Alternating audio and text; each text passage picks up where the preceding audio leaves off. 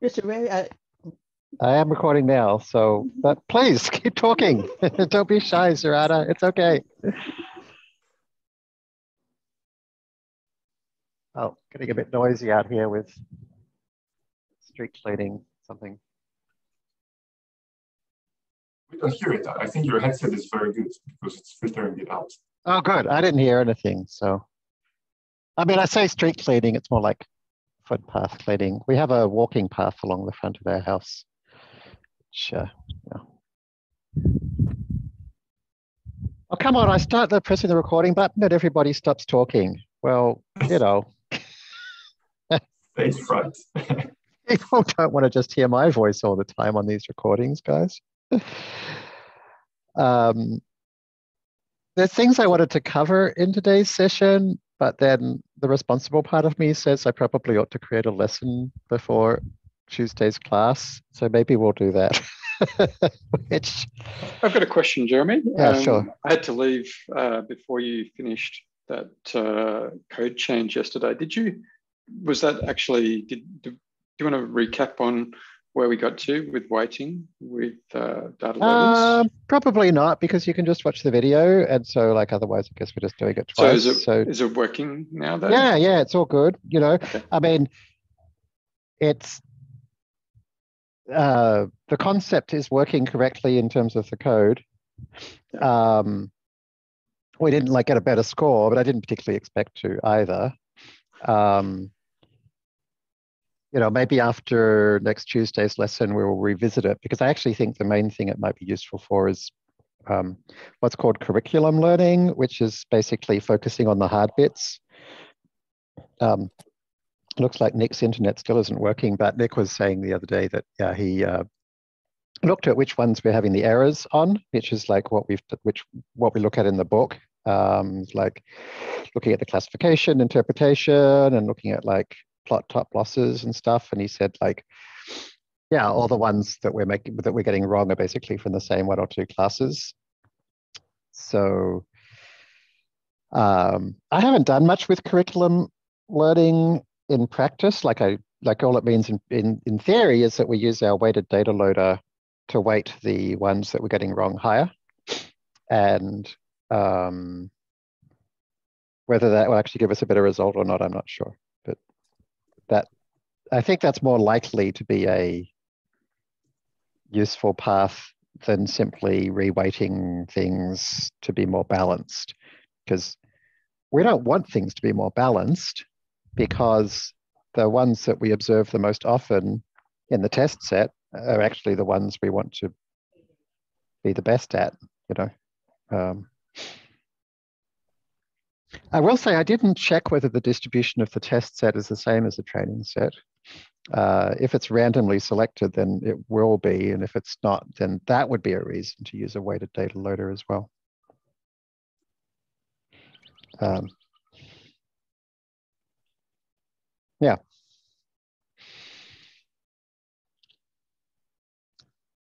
Um, okay, so What's the difference Yeah. between um I guess like what's uh the is it is the curriculum learning kind of related to boosting and conceptually? Not really. I mean, maybe. So boosting is where you um, calculate the difference between the actuals and your predictions to get residuals, and then you create a model that tries to predict the residuals. And then you can add those two predictions together, um, which is, if not done carefully, is a recipe for overfitting. Um, but if done carefully, can be very effective. Um, yeah, Whereas we're, we're talking about something which is conceptually very different, which is saying like, oh, we're like really bad at recognizing this category, so let's show that category more often during training. Um, I've got a good question. Um, Yeah. I guess never I like really. of uh, kind of focusing on examples you're getting wrong, like Mhm. more kind of Mhm. conceptually doing something similar. Mhm. Uh, I was just going to ask: Are the labels ever wrong, like by accident or intentionally course. in Kaggle? Of course, absolutely. So, so, oh, both intentionally as well. No, not intentionally. I mean, I mean, not normally. Like sometimes there might be a competition where they say like, "Oh, this is a synthetically generated data set, and some of the data is Right. wrong because we're trying to do something like what happens in practice, but we can't share the real data." So is there no, any advantage in trying something like uh, some uncertainty values from something like MC dropout? Try to find like a threshold of things that are too difficult, and then potentially they're wrongly labeled. I'm not sure you would need that. Like the thing we use in the book and the course is simply to um, find the things that we are confident of, but we know are wrong, but turn out to be wrong, and then just look at the pictures So the and see if raw softmax value is enough, you think, to, to basically know whether or not I, it's, I, I do, yeah. I mean, that seems to work pretty well. I mean, the, the, the only thing is you would need to be able to recognize these things in photos. But I'm sure if you spent an hour reading on the internet about what these different diseases are and how they look, you would be able to pick it up fast soon enough. And then, you know, just like we did in chapter two for recognizing the things that aren't black and brown teddy bears. Okay, but so plausibly, even just knocking out some of the extremely difficult examples might get you higher on the leaderboard purely by virtue of them misleading the, the model. But not by, not, not by knocking out the the hard ones, but but by knocking out the wrong ones. Yes. Yep. Um, Okay. Unless the test set, unless the test set is mislabeled consistently with the training set, in which case you would not want to knock them out because you would want to be able to correctly predict the things which people are incorrectly recognizing as the wrong disease. something to try though. Yeah. Um, yeah. So I would do exactly what we did in chapter two. You know, you can use exactly the same widget. Um, but as I say, you'd have to probably spend an hour learning about rice disease, which probably be a reasonably interesting thing to do anyway. I Uh, ju- I just saw a link. Uh, uh, there's a discussion in the Paddy. Uh, cool. some people identify there's some mislabeling, at least over 20 already. Oh, okay. Yeah, so definitely happen. It says we have manually annotated every image with the help of agricultural experts, but there could be errors.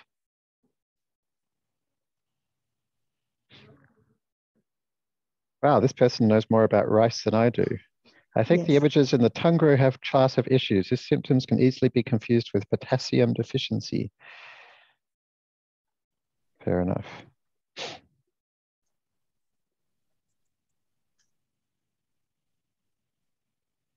Is that an example of what you're talking about, where if, if a layman, or sorry, if a semi-expert gets confused, then the labeling in the test set's probably the same. So you probably Yeah, exactly. So you're probably fixing these would probably screw up your model because assuming that the test set was labeled used by the same people in the same way.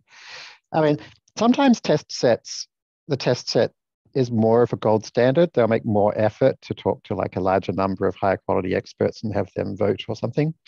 Um, honestly, this competition seems like it doesn't even have any prize money attached. So I'd like I think it's really low low investment probably. And so I doubt they did that. But but that can happen. Yeah. That the test set could have. I mean, it makes sense to invest in getting really good labels for the test set. Um, actually.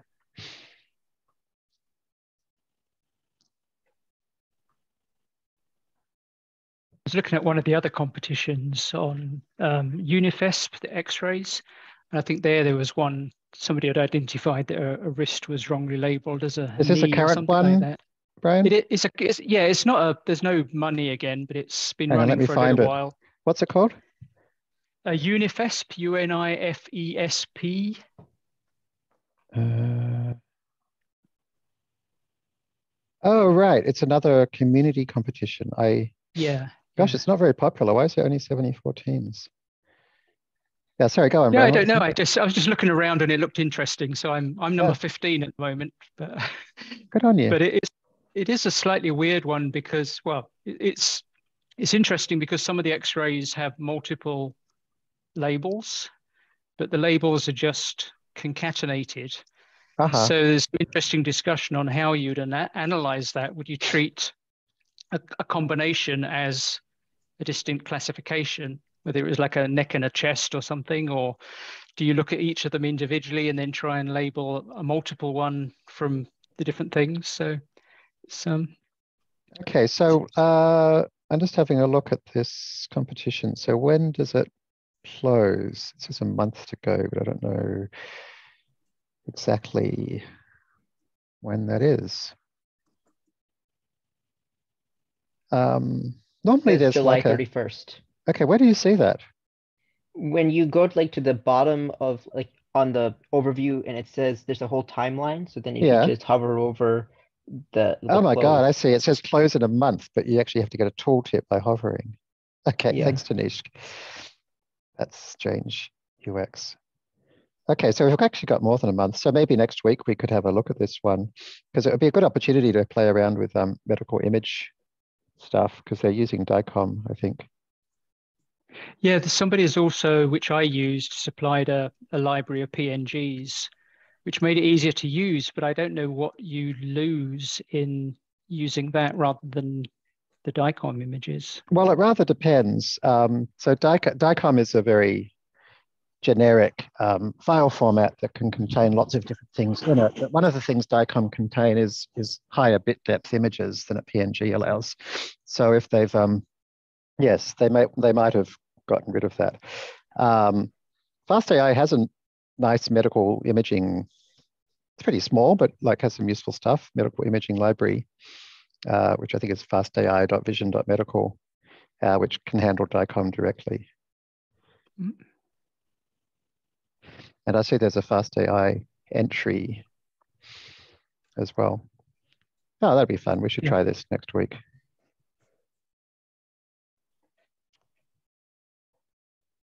I see, and there's the PNGs. Yeah, I think the DICOMs come to about 27 gigabytes. Oh my God. Okay. So the uh, the PNG was quite attractive from that point Yeah. of view. So one thing that you can do with DICOM is to compress them, particularly using JPEG 2000, which is a really good compression. Um, but yeah, people often don't for some reason. Um, so probably the first thing I'd look at in that competition is to see, look at at DICOM and see is it storing 16-bit data or not. And if it is, I would try to find a way to resave that without losing the extra information. Which I think we've got examples of in our medical imaging tutorial. Right, I'll take a look at that. Um, all right, I'm going to share my screen, even though I don't know what I'm doing. Yeah, I'm gonna have to drop in a few minutes, but I'll, I'll catch the rest on the recording. right. but Thanks for this. Nice to see you. Yeah, you. Oh, by the way, I was looking at this uh, ConvNext paper. And uh, gosh, e- e- everybody congratulates transformers on everything. Vision transformers bring new ideas like the Adam W optimizer. But guess who actually wrote the first thing saying we should always use the Adam W optimizer? That would be Sylvain in FastAI. I think that was years before Vision Transformers. Adam W. There we go. Mid 2018. Um, I read that paper last night, and I Uh-huh. was just thinking, like, um, they kind of talk about how all of these things were already there, right? Yeah. But they just rediscovered them, like slightly larger um, uh, kernel size and things like that. Which like begs the question: Why hasn't no one just done like experiments to, in, you know, to, to just tweak these things together? I mean, it's I mean, been we years. do, but nobody takes any notice because they're not written in PDFs, you know. is it? I mean, w- these benchmarks though, like uh, The, the thing is that 1K, like a lot of researchers aren't good practitioners. So they just they're not very good at training accurate neural networks and they don't know these tricks, you know. Um, and they don't hang out on Kaggle and learn about what actually works. And so, but then the thing is like, it's not always easy to publish. Like even if you did stick it into a PDF and submit it to NeurIPS, there's no ch- particular high likelihood that they're going to accept it because the field research wise is very focused on theory results and you know things with lots of greek letters in them um, Does that mean that the part of the problem is that the data sets, the benchmarks, are just too inaccessible to the average person? So there's No, like a wouldn't say that. competition for ImageNet 1K. no i wouldn't say that the issue is i think the culture of research is not particularly interested in experimental results you know Um, Okay. With my limited experience, I will say um, it's very hard to find reviewer as well, especially you have a very strong domain, not just um, running all the uh, um, sample data set you can find in open source. Mm. Uh, when you cross domain and then a lot of um, peer reviewer, they're just not picking up to review it. Even we pay for the um, reviewer we using, so people can get it for free. And Mhm. we take, take us three months just to find reviewer. mhm. Jeremy, so on the uh, topic of papers, when do you know when a paper is worth reading, given the situation? Um, I mean, you, you don't like until, I mean, I'm very fond of like papers that describe things which did very well in an actual competition. You know, that then you know this is something that actually predicts things accurately. Um, you know, you can get similar results if they've got a good um, you know, just table of results. So generally speaking, I like things that actually have good results, particularly if they show like how long it took to train and how much data they trained on. Um, and yeah, so are they getting good results using less data and less time than you might expect from the same thing? Um, and yeah, I certainly wouldn't focus only on those that get good results on really big data sets. That's not necessarily more interesting. I'm very interested in things that show good results using transfer learning. So I look for things that are like practically useful. I don't train that much from random. So I'm very interested in things that do well on transfer learning. Um, also like look for people who you've liked their work before, you know, and and in particular, that doesn't mean like always reading the latest papers. You know, if you come across a paper from somebody that you find useful, go back and look at their Google Scholar and look read their older papers. Um, see who they collaborate with and read their papers. So, for example, I really like Quoc Le in Google Brain. Um, his him and his team do a lot of good work. It tends to be, you know, very practical and high quality results. And um, so, you know, when his team releases a paper, I and I also know like he seems to have similar interests to mine. Like he tends to do stuff involving transfer learning and getting good results in less epochs and stuff like that. So if I see he's got a new paper out, I'm pretty likely to read it. I have a question. Um, in I mean, for for the the Kaggle competitions and like like in a lab type of environment is, uh, I mean, when to the question that I have is when to stop iterating on on a model on a model that that you have is is I have the someone asked me uh, uh, when is enough enough to to do the training on the data that you have when is enough Mhm. Mm. so that question I mean, um, there's some reason you're doing this work, right? So, like, you hopefully know when it does what you want it to do. I- I Um, mean, uh, the, the thing that happens uh, all the uh, that happens, especially to me, all the time is Mhm. that we train the model and it works perfectly fine on on the lab when Mhm. we're doing it, and then as soon as we throw a couple of images that they are not part of the set, Mhm. I mean that thing goes nuts. And and Okay. Because So it doesn't that's have enough like- light or more light or the temperature Okay. is different or stuff like that. So, that's uh, a different problem, right? So that that that means your problem is that you're um, you're not using um, the you know the right data to train on. Um, so like you you need to you you need to be thinking about how you're going to deploy this thing when you train it. And if you train it with data that's different to you know how you're going to deploy it, it's not going to work. Um, yeah, so that's that's what that means. And um, it might be difficult to get data, enough data of the kind you're going to deploy it on, but like at some point you're going to be deploying this thing, which means by definition, you've got some way of getting that data you're going to deploy it with. So like do the exact thing you're going to use to deploy it, but don't deploy it, just capture that data um, until you've got some, some actual data from the actual environment you want to deploy the model in. Uh, you can also take advantage of semi-supervised learning techniques to then, you know, and transfer learning to maximize the amount of juice you get from that data that you've collected. Um,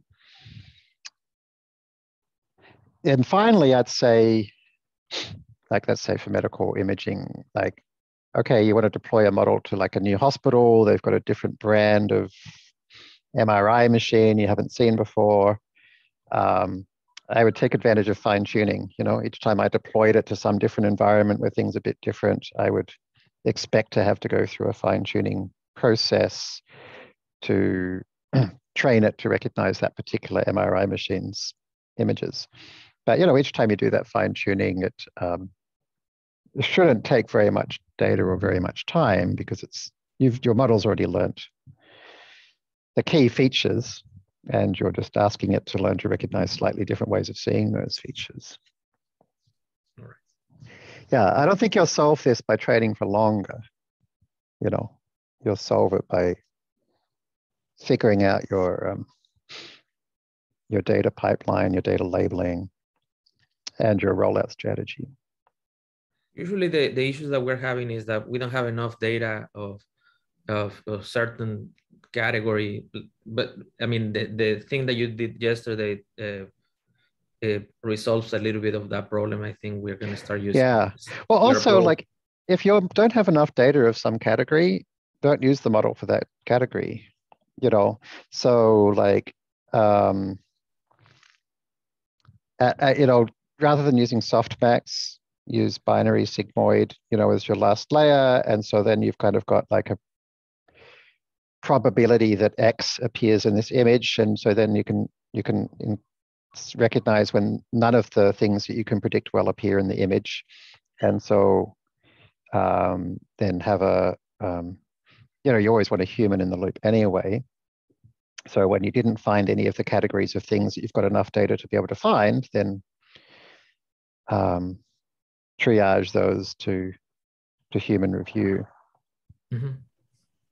Well, uh, one thing that we did is, uh, I mean, we have like 50 something categories. Oh, of, just one uh, moment. Hang on. Yes.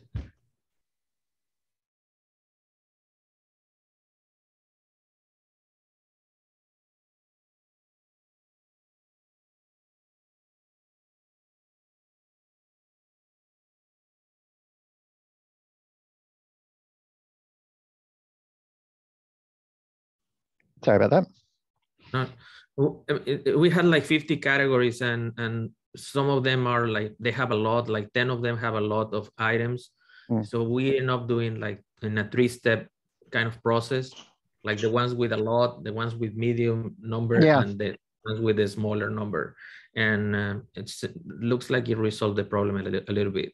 Cool. But but um, uh, this was to classify metadata coming from from other systems mm-hmm. and, and, classify it for legal purposes mm-hmm. mm-hmm. for legal retention. I see. Got it. um, Jeremy, uh, yeah. I had a question actually. Uh, yesterday, you tried the weighted data loaders, right? So I think you haven't submitted that to Kaggle Notebook. So did you do any validation locally first before submitting to Kaggle? Uh, something like that? Do you have a setup? Like? No, I mean, you saw what I did, right? And when I did it, so I just, yeah, I just, I, I like, I, I was intentionally using a very mechanistic approach. Um, because it was part of like just, um, yeah, showing like his the basic steps of pretty much any computer vision model, which is entirely mechanical and doesn't require any domain expertise.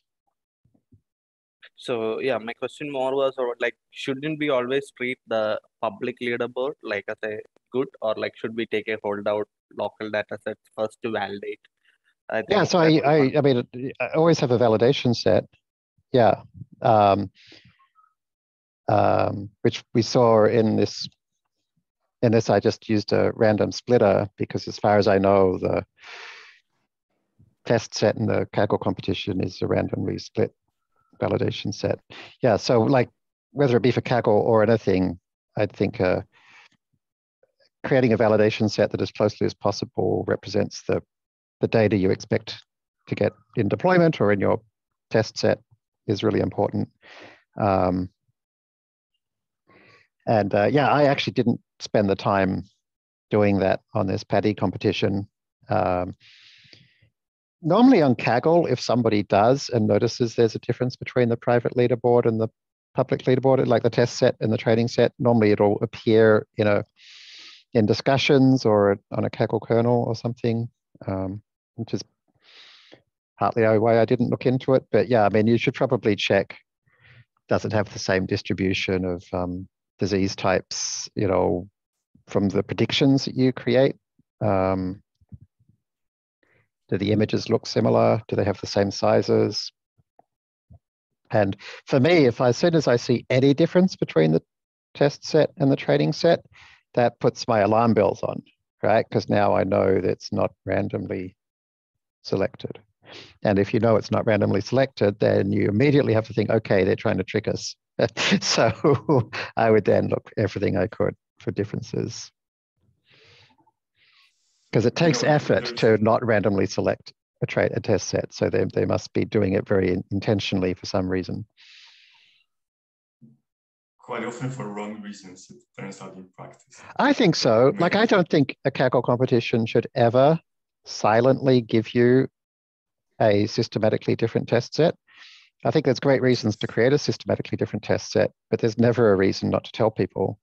So if it's like medical imaging, it's a different hospital, you should say this is a different hospital. Or if it's fishing, you should say these are different boats. Or, you know, because like you want people to do well on your data. So if you tell them, then they can use that information to give you better models. Um, and so, Kurian, uh, like going back to what you asked about there's this validation in training, then there's this uh, whether your local validation maps to what's happening on the leaderboard, the score on the hidden test set. But there's one other scenario that I encountered recently, and maybe it will be interesting to someone. When you're working on a competition, sometimes you might miss something in your code where the prediction, you know, your model is still doing something useful, but you're failing to output a correctly formatted submission file. And not in a sense that the submission fails on Kaggle, but some predictions are not aligned where there should be, or you know, therefore a different uh, uh, customer ID or, or, stuff like that. So once you have one good uh, submission file, relatively good, you can just store it locally and then see, you know, run a check the correlation between your new submission and the one that you know that is okay. And you know the correlation should be upwards of 0.9. And then you know, yeah, okay, so I didn't mess up anything with uh, the, the, technical aspect of outputting the prediction. I mean, it, it's not a great trick, but uh, you know, I was like pulling my hair out. Why is this not working? It's a better model. So this was like a sanity check that maybe at some point it would be useful. Thanks. Cool. Thanks, Frederick. Um, all right. So let me share my screen.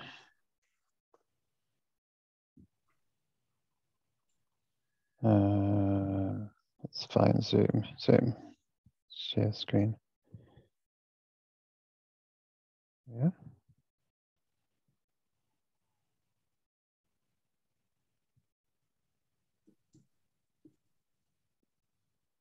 Oh, that's not the right button. Control Alt Shift H. Uh, okay. Um, where did we get to in the last lesson? Um, we finished random forests, right? And oh, that's right. And I haven't posted that video yet. Um, that's okay. We can check the live. FastAI Live.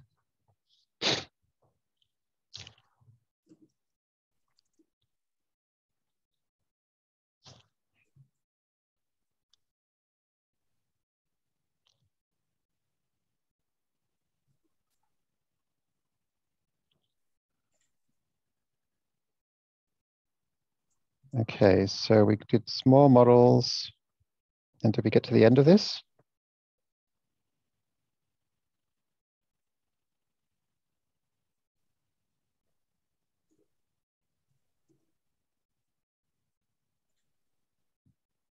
Okay, so that basically, so we basically finished the second one uh, of, of our Kaggle things. So next week, um, see what's in part three.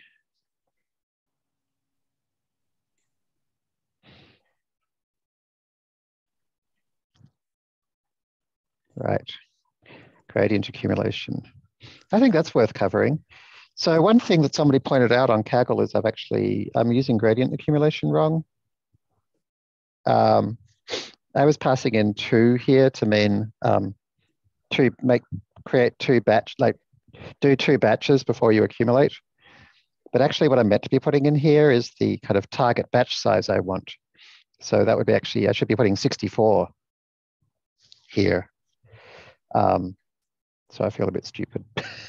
so what I've been doing is I've been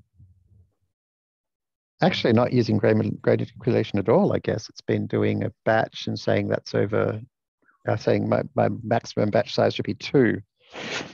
Okay, so this has actually been not working at all. That's interesting. Whoops.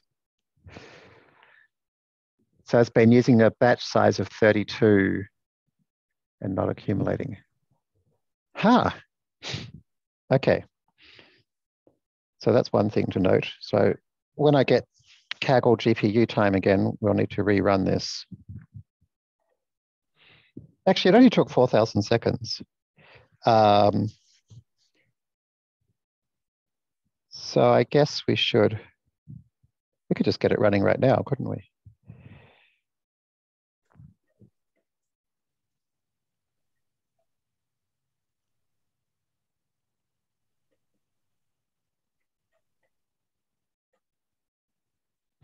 So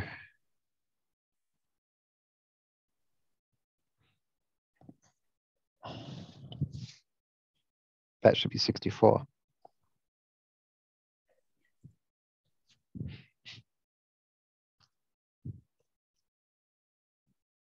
Gravity of path defines how large the effective batch size you want is.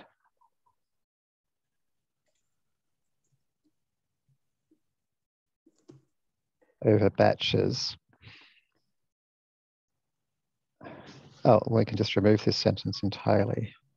Oh no, that's right. Uh,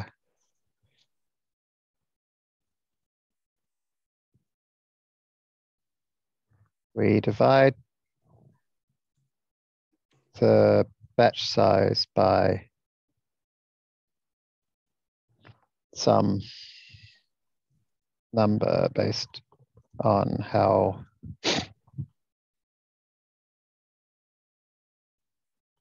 small we need it to be for our GPU's RAM.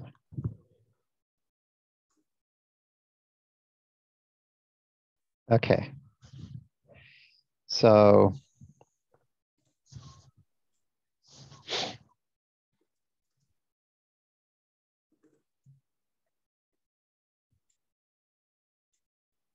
And on Kaggle, I think these were all smaller. I don't know why, but the Kaggle GPUs used less memory than my GPU for some reason.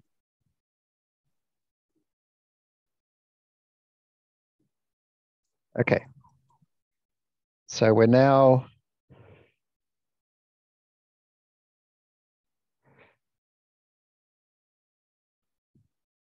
let's try running it.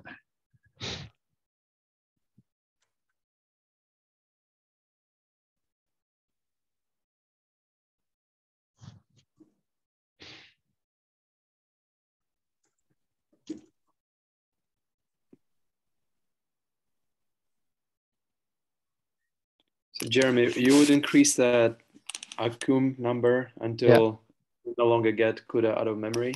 Yeah, and you could be able to pretty much guess it by looking at like, I mean, you can just um, once you've found a batch size that fits, you know, um, so the default batch size I believe is um, 32. Um, so once you find a batch size that fits, sorry, 64 is the default, a batch size that fits, you just like it's like, okay, well, if it fits in 32, then I just need to set, it to two because 64 divided by two is, is enough. And um, the key thing I do here is, you know, so I've got this report GPU function. So what I did at home was I just, you know, changed this until it got less than 16 gig. Um, and as you can see, I'm just doing like a single epoch on small images. So this ran in I don't know, 15 seconds or something. Um, Thank you.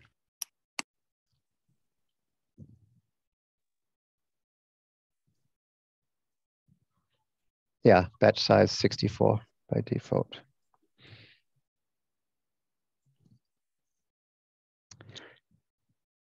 Um, yeah, so then I just went through checking the memory use of ConvNext large at different image sizes. Again, just keeping on using just one epoch.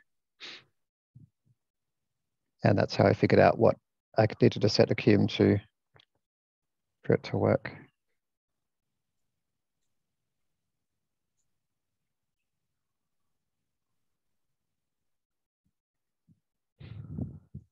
All right, so that should be right to save and run. And then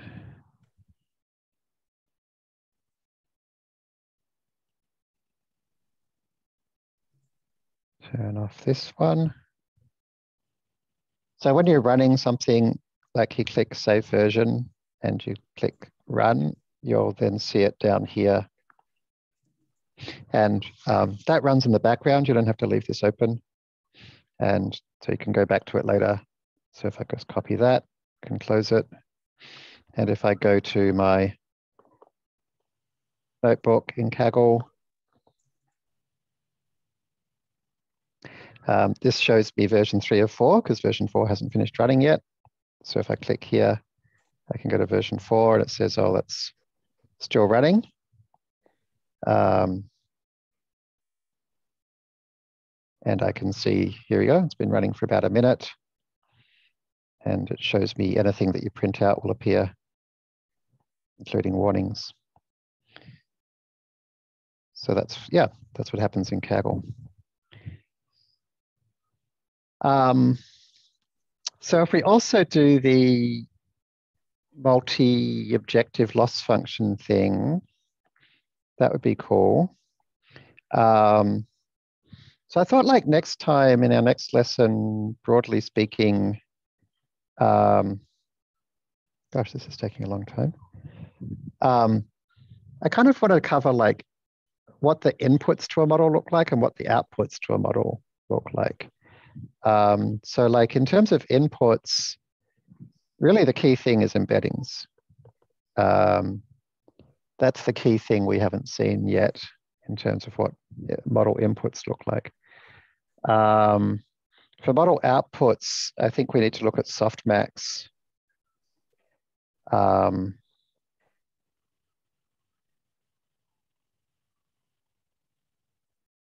outputs, softmax, uh, cross entropy loss, entropy loss. Um, and then, you know, our multi target loss. um, which we could do first, kind of a segue.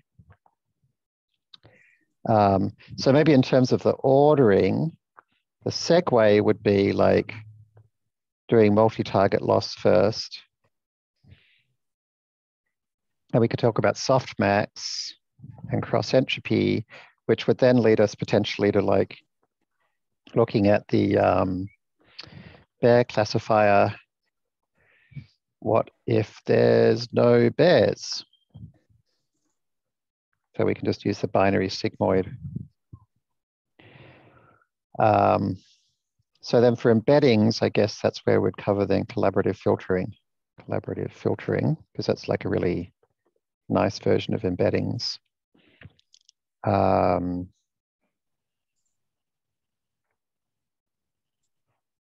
so I guess the question is, for those who have done the course before, um, are there any other topics. I guess like time permitting, it would be nice to look at like the convnet, what a convnet is.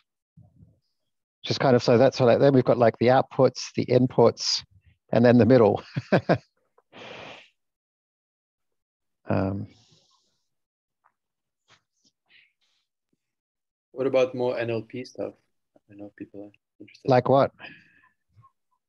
Well, I've heard that um, Hugging Face is getting integrated with Fast AI. Maybe looking at that, how it works. Well, it's not done yet, so we can't do that yet, but definitely in part Maybe two. Um, I've got a question. I, I, don't know if it's helpful, but um, there's a lot of emphasis on outputs and inputs. Um, but like in the middle, just understanding like the outputs of a of a hidden layer, whether they're going awry or not. How do you kind of debug that? How do you understand you know when to to kind of look at those yeah very helpful um last time we did a part two we did a very deep dive into that and i think we should do that again in a part two because like um most people won't have to debug that because if you're using an off-the-shelf model you know like it's you know with off-the-shelf initializations that shouldn't happen um, so it's probably more of an advanced debugging technique, I would say. Um, but yeah, if you're interested in looking at it now, definitely check out our previous part two, um, because we did a very deep dive into that and developed the, the so forth colorful dimension plot, which is absolutely great for that. Um, Jeremy? What yeah. about deep learning on tabular data? we, we yeah, so that would exactly. So collaborative filtering would lead us exactly into that. Thank you, Tabular DL. Yeah, sorry, Sarada. Um, do you mind to spend five minutes talking about the importance of the um, ethical side? Uh, at least you point to the resources um, Rachel prepared before. So I think mm. that will hmm. lead people, because it's so easy to build a model, but how to apply is getting more scary now. Mm. Yes. Yes, I mentioned in lesson one the data ethics course, but you're right. It would be nice to kind of like touch on something there, wouldn't it? Um, lecture by Rachel from part one before. That was that was a great lecture. Yeah, I mean that. I mean, okay. I mean that actually would be a great thing just to talk about. You know that that lecture is not at all out of date. So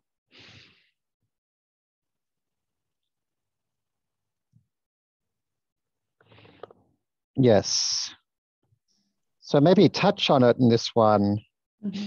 and also talk link to, you know, for, for varying levels of interest. Um, the two hour version would be Rachel's talk in the 2020 lecture, and then deeper interest Jill would be the, yes, the, the full ethics course. That's a great point. Thank you.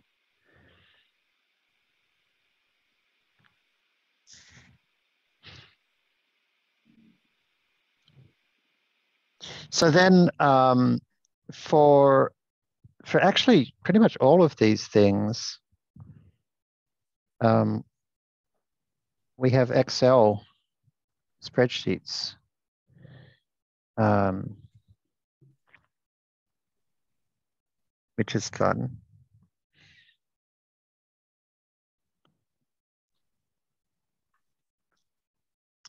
So there's let's have a look. Collaborative filtering.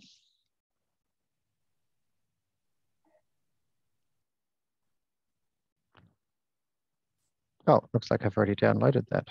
Huh.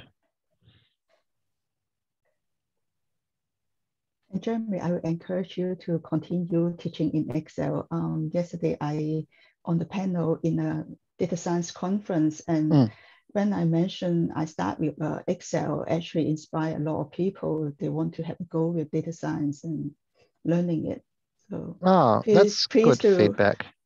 Please yeah, because there's a, certainly some people who don't find it useful at all, um, and they tend to be quite loud about about it. So um, it's certainly nice to hear that that feedback. Um, what on earth? I thought you didn't bother you, Jeremy. Sorry.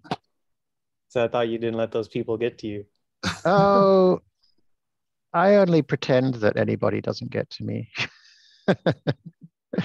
Uh, I was going to back, back up, so I don't just say that's that was really great to see. Um, I've only ever seen it done once before, um, and that was in a physicist in Belgium who explained radiative transfer modeling using Excel, and it was just so nice to see the clarity. Yeah, it was great. Keep doing. Great. Okay. Thank you. I will. Um, let's see. So we've got. Um, So I think these are actually from the 2019 course. Fast AI1 course is DL1. Uh, so I'm just going to grab them all. So one thing I don't think we're going to cover this year, this part one that we will cover in part two is like different optimizers, like momentum and Adam and stuff. But I think that's okay because I feel like nowadays just use the default Adam W and it works. So I don't, I think it's fine not to know too much more than that.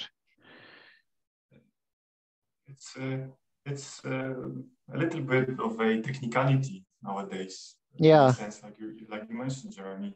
And it used to, be something always... we did in one of the first lessons, you know, but um, that was when you kind of had to know it, right? Because you always fiddled around with momentum and blah, blah, blah to, to me, uh, always like the biggest thing when starting on something is to how to data. You know, once I figure out how to read in the data, then things. So uh, I'm, I'm really grateful that there's such an emphasis in this edition of the course on, on the reading in of data. And, you know, with tabular data, that is something that I will also stay on the lookout for, just understanding better the data. Great. I don't think we need this one anymore because we kind of have better versions in in Jupyter with IPy widgets. So we've got um, this fun convolutions example, which I think is still valuable. Um, Okay, we've got softmax and cross entropy examples. And we've got collaborative filtering. That sounds interesting. Wonder what that is. and then also we've got word embeddings.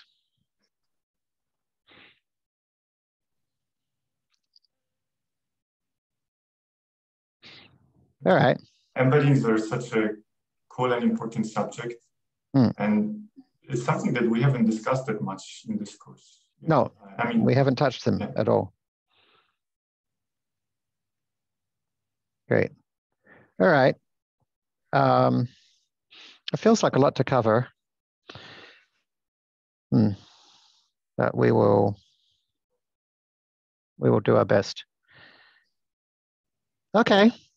I think we're up to our hour. So thanks, everybody. Nice chat today. And I will get to work on putting this together. Have a nice weekend. Thank you so much. Bye. Thank you so much. Bye, Thanks. Bye. Bye. Just remind everyone, um, there's a, a race and bias um, video today. Um, I think six o'clock um, Brisbane time. So with anyone interested, um, the guy mentioned he Thomas mentioned you're going to have another US session as well. You you can join. Just Yes, I think there's remind that. details on the forum. Mm. Yeah. Thanks. See ya.